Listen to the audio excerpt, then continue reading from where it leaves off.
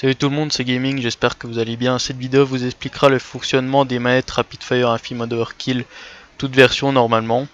Une vidéo pour monter la puce ainsi que des manuels contenant les différents modes d'explication détaillés. Les liens sont dans la description. Je tiens à remercier Stargame.be, partenaire de nopad.fr, de m'avoir fourni ce produit. Sur ce bon visionnage, j'espère qu'elle vous plaira et qu'elle vous aidera. N'hésitez pas à poster en commentaire et à mettre un pouce vert. Merci d'avance.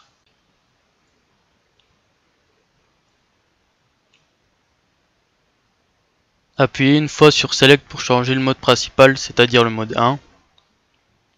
La LED 4 va clignoter une fois. Si vous souhaitez aller au mode 2, appuyez une fois et ainsi de suite. Si vous voulez revenir au mode 1, maintenez X et appuyez sur Select. Vous êtes maintenant en mode 1.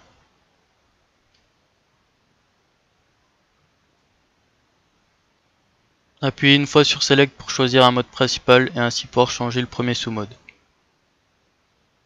Pour changer le premier sous-mode, maintenez X pendant plus de 4 secondes. La quatrième LED en, orange clignotera très vite et relâchez X. Après avoir relâché la touche, vous allez voir que la quatrième LED orange clignotera quelques fois pour montrer le numéro du, du mode principal choisi. Et après elle recommencera à clignoter très vite. Appuyez sur rond pour passer au premier sous-mode suivant. Pour sauvegarder le premier sous-mode, maintenez X pendant 4 secondes et rappuyez, sur X une fois pour valider. Cette manip que vous voyez sera expliquée juste après.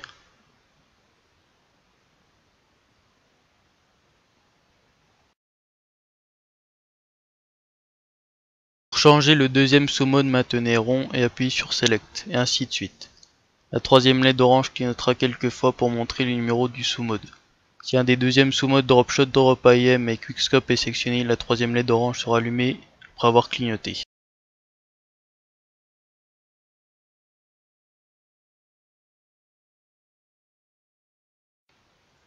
Pour réinitialiser les modes par défaut, éteignez la manette. Maintenez rond et allumez la manette.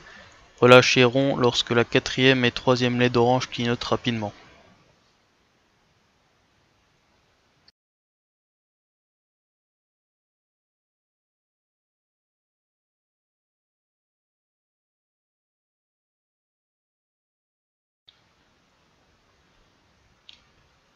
Choisissez un des modes principaux via la touche Select. Maintenez L1 et appuyez sur Select pour sauter entre tous les modes et le mode 0. Cela vous permet d'activer et désactiver rapidement la Rapid Fire.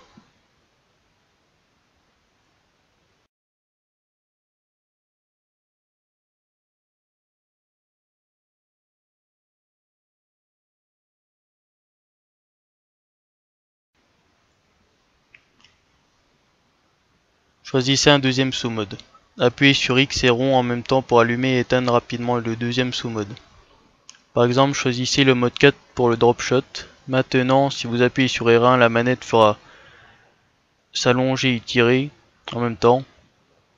Maintenant, appuyez une fois sur X et rond en même temps. Vous verrez que la troisième LED orange s'éteindra.